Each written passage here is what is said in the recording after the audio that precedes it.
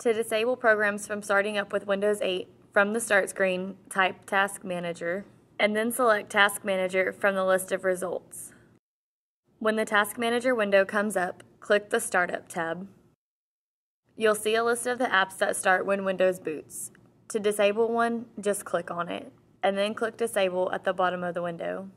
To disable services from starting up with Windows, go back to the Start screen and tap msconfig.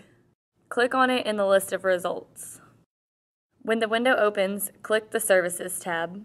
You'll see a list of services. Just find the ones that you want to disable, uncheck the box beside it, and then click Apply. Once that's done, click OK to close the window, and it'll let you know that you need to restart your computer to apply the changes. Click Restart. When the computer comes back up, your changes will be saved.